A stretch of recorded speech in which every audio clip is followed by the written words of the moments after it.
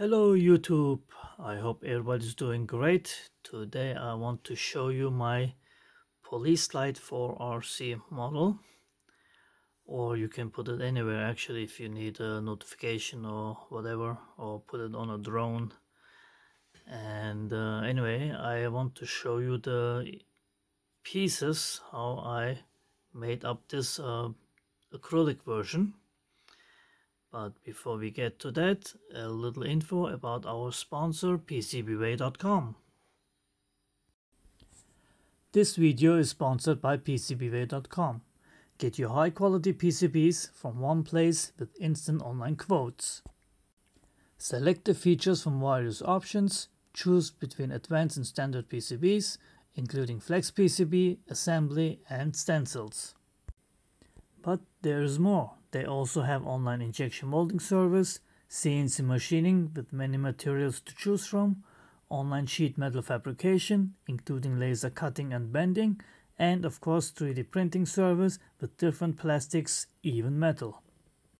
PCBWay is the one company that you'll need. Okay, here I will show you now the each piece that I have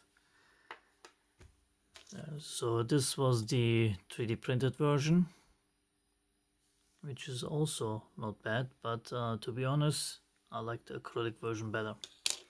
So the acrylic version consists of four pieces. You have the bottom piece with two mounting holes and two holes for the wires. And then comes the frame which does hold the PCB I have still the protection paper on here so don't mind that. And then you have another frame which is the height of the or the clearance for the neopixels.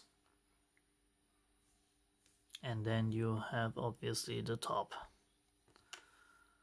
So and all this screws together by those two holes with uh, M2 screws and this is how it looks like.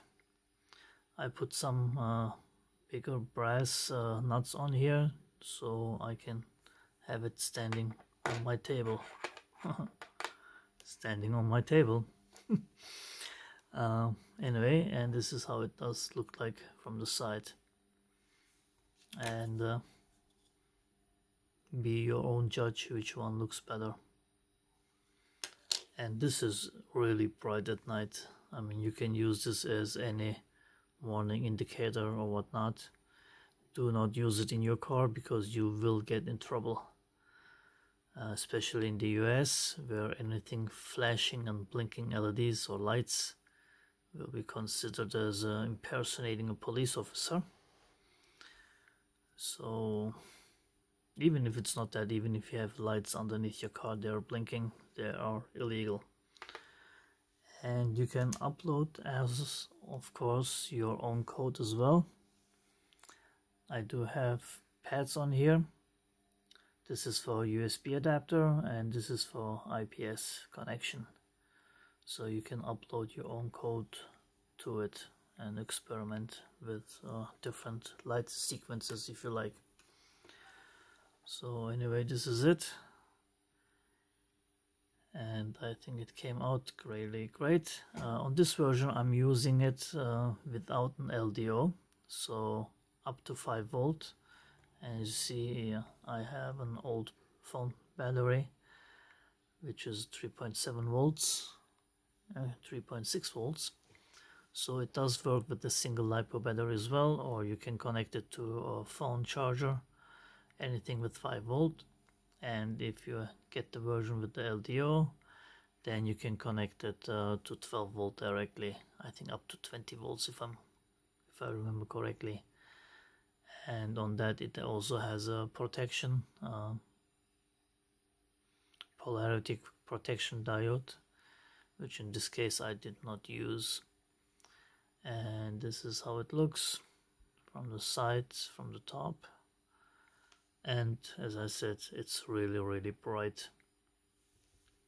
And if you're somebody who likes blinking neopixels or LEDs and want to use it in your project this is really nice. Anyway thank you to all my supporters. And uh, you can go also to my Tindie store and see maybe you find something that you like and this is actually I showed this before as well. I did create this as a keychain for my car.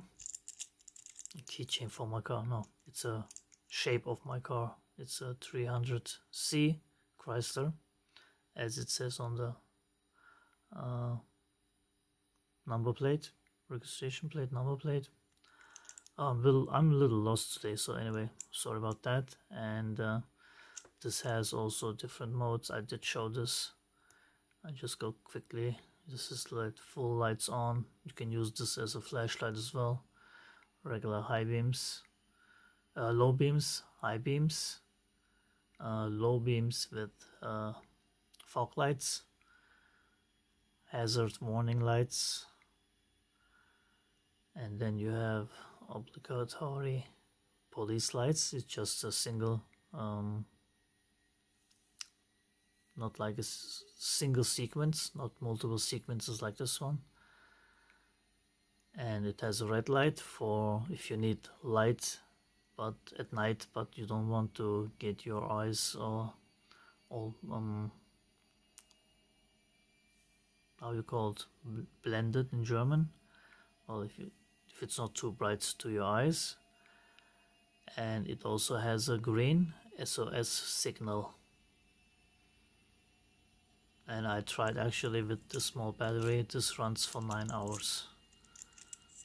Uh, I did choose green in color because it's the brightest. You could do it in a different color as well. And that's it. It does get charged by USB type C. And if I remember correctly oh, the programming port is on this side. Anyway if you're interested please let me know. Thanks for watching and take care everybody